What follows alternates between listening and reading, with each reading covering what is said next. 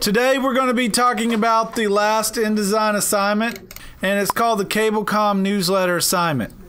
The directions are right here. It starts off with this page setup directions about the margins and how to save it. This image right here is actually what it's supposed to look like. One thing you need to keep in mind is look at the margin space.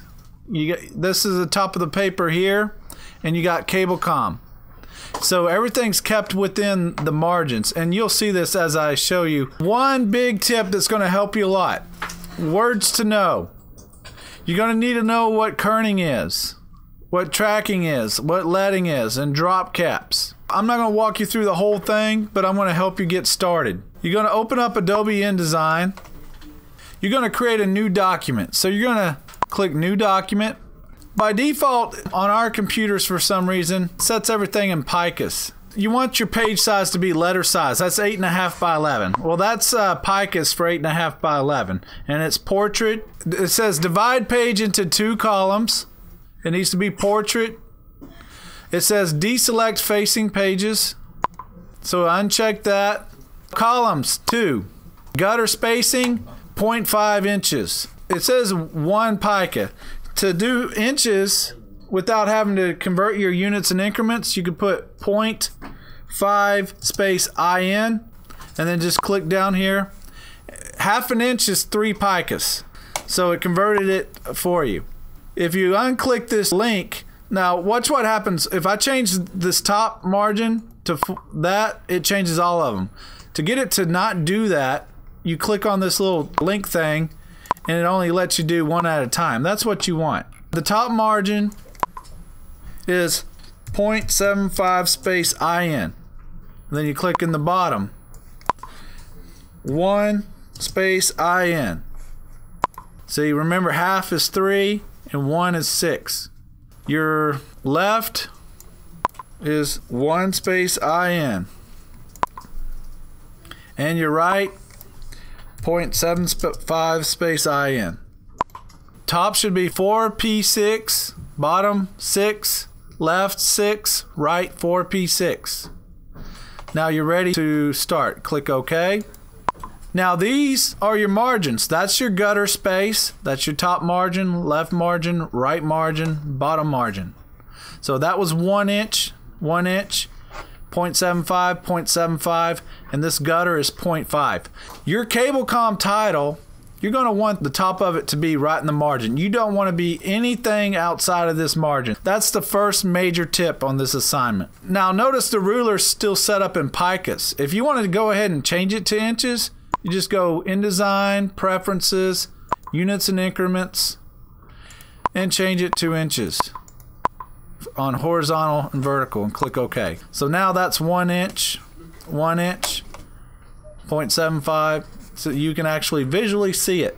So the page is set up. Now on the directions, once you got the formatting right, let's go ahead and save this. So you're gonna go File, Save As. This is 1A, so you're gonna type 1A underscore last name, first initial, Cablecom. It's a good habit to go ahead and save. So we're gonna save as.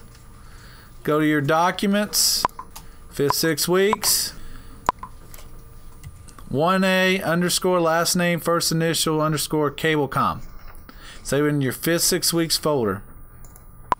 I'm going to show you a few things. I'm not going to go through the whole assignment, but there's a few things that you need to be uh, shown to know how to do. The title Cablecom, which is this right here, is a sans serif font, Arial. So we're going to choose Arial font and it's 72 point bold. Italicize the comms throughout the, the whole thing. So I'm going to select that and italicize it. So I'm going to start that first one. I'm going to click the text tool. I'm going to click and drag. I got a text box that spans the whole margin. Now I'm going to go Window, Type in Tables, Character, and I got the character panel right here. And it said 72. I'm just going to go ahead and type 72. And you see the cursor get bigger. I'm going to choose auto for that. The font is Arial, so I'm going to choose Arial, regular. I'm going to go back to the directions. I'm going to type this, cable com. All caps. Let me look at that. Cable com, all caps. And I need to center it. So I'm going to highlight this. You can go up to the options bar and choose align center. Or you can go window, type in tables, paragraph, and get the paragraph panel and choose align center right there. You don't have your tool options up there, you can go in the paragraph panel. So it's centered. Now it's said to italicize the com. I'm select that com, choose italic right in the character panel. So I got cable com. Might adjust that text box there. The next one a lot of people get confused about is this box here. You want to create this gray box. It talks about company news brief is Arial 10 point bold. Insert symbols were shown. These are just little squares you draw with the shape tool. And it talks about this rectangular box. Stroke one point, fill line solid, registration 10 shade tint. Let's draw that. Get the rectangle tool. And I'm going to draw a rectangle. With it still selected, I'm going to go to my window color. There's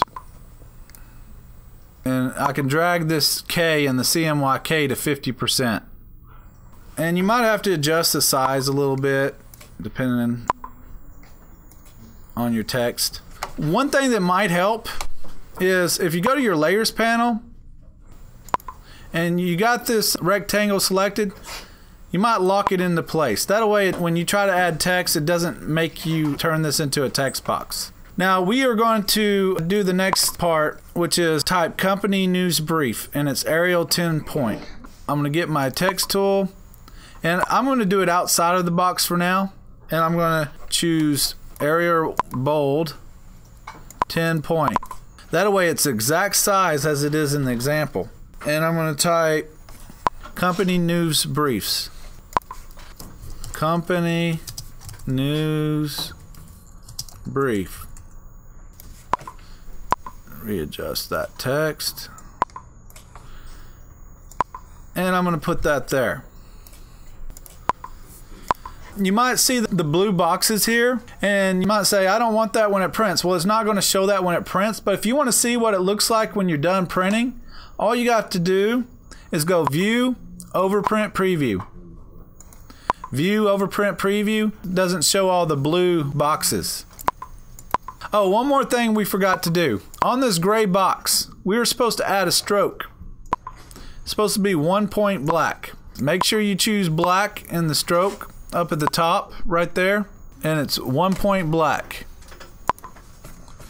As it says in the directions stroke, one point line fill, solid registration, 10% shade. So view, overprint, preview. See, you can see the black stroke right there. So you might need to adjust this. All right, one more thing I wanted to show you on this gray box here.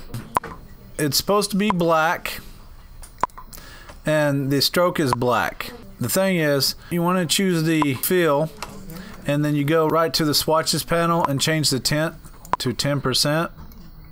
There you go. Now the stroke is still 100%, but the fill is 10%. It's black, but at 10% it looks gray. So that's actually how you truly do it according to the directions for the solid registration 10% shade. Now the next thing I'm going to show you, then we'll skip on to another part, is these little square boxes right here. The simplest way to do this just get the rectangle tool, choose black, and just simply draw a square.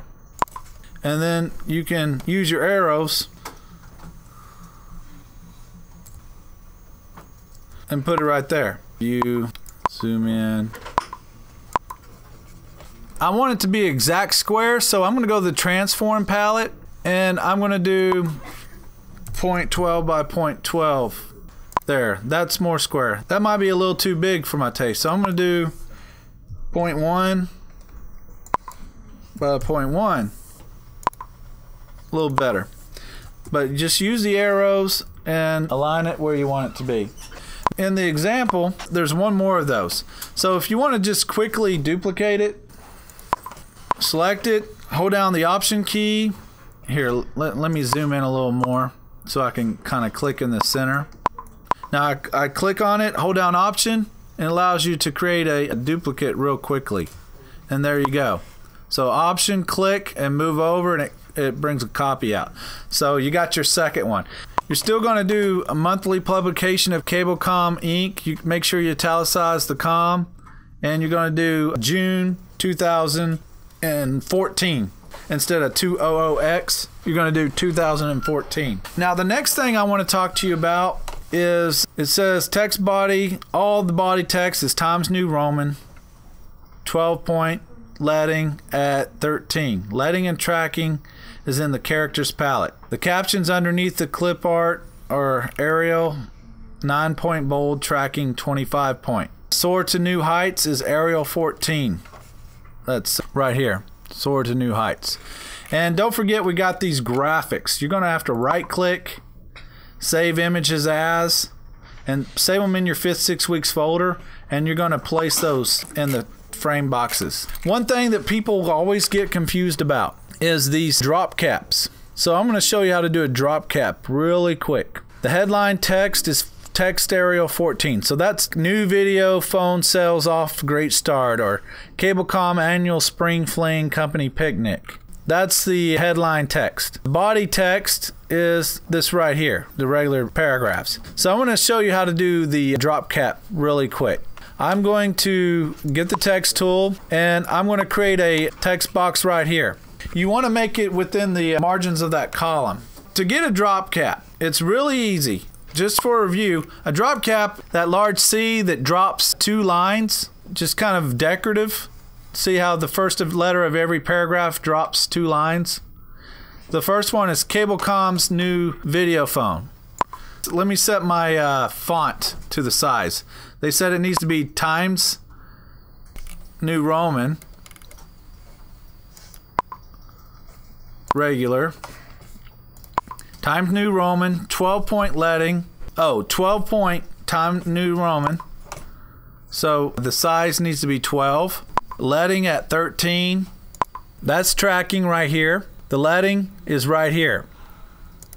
Needs to be 13 that's how close they are in between the lines. So we're going to type cable comms new video phone 2000 just released in March had a 22% increase in sales during the month of April. Period. So we got that whole paragraph. Notice I didn't do anything to the big C yet. All you got to do is select that paragraph and go to the paragraph panel. If you don't have your paragraph panel, you can go Window, Tools and Type, Paragraph. Now in the paragraph panel, everybody pay close attention and look where I'm pointing. You see this bottom left corner, you see the big A right there? That's the drop cap number of lines. And by default it's one. The directions want you to do it two lines. Notice when I put it to two, it changes the C for two lines. Now if I chose three, the C increases even more. Four, it does more, five. So you can adjust how big you want that drop cap. It's pretty cool. You can even go further. If I wanted the first two letters, you go over here, drop cap one or more characters. I could do the whole Cablecom. I'm just trying to show you right now. We're going to leave that at one and we're going to set the drop cap number of lines to two. And that is it. And notice how it fits pretty identical to the graphic. Now you might slide this down and you're going to create your caption be sure you create that caption new video phone sales off to great start. Now you also have this line here. Now you could either do a rectangle box or you could use the line tool and increase the stroke. Probably the easiest is just to do a rectangle box. Right there. I'm to go view over print preview everything's starting to come into shape and space out. Don't forget that headline right there. If you size everything according to the directions, everything's to fit inside the margins. This last part, people always miss this last part. It says insert footer, your name and date. You notice where it says insert footer? You need to put a text box, center it, and put your name and today's date. Your name and the date right below the margin. One last thing I want to show you is uh, these images. You need to download these, so you're going to go right click, save image as, go to your fifth six weeks, and that's speaker, save. Right click this one, save image as, that's glove, it's in your fifth six weeks, save. Right click, save image as, balloon, fifth six weeks. See, you got the arrow, fifth six weeks, save. One more thing I want to show you with this glove. Here, we're going to recreate this. I'm going to create a frame.